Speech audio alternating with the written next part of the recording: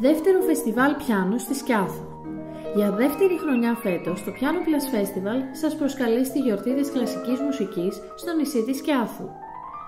Πέντε καλλιτέχνες από το Τμήμα Μουσικών Σπουδών του Ιωνίου Πανεπιστημίου θα παρουσιάσουν δύο μοναδικές συναυλίες αφιερωμένες στη ρωσική πιανιστική παράδοση, καθώς και σεμινάρια για μικρούς και μεγάλους στην αίθουσα εκδηλώσεων Μπούρτζι.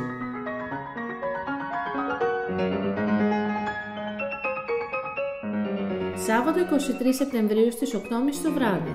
Ρεσιτάλ με τον διεθνούς φήμης πιανίστα Λάβη Βασιλιάδη σε έργα Ραχμάνινοφ, Σοπέν, Λίστ και Τσαϊκόφσκι.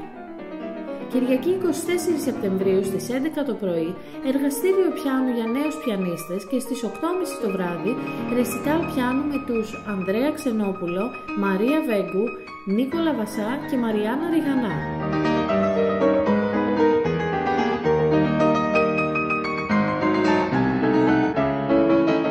Η είσοδος στις συναυλίες είναι ελεύθερη. Το πλήρες πρόγραμμα του φεστιβάλ θα βρείτε στην ιστοσελίδα www.pianoplusfestival.gr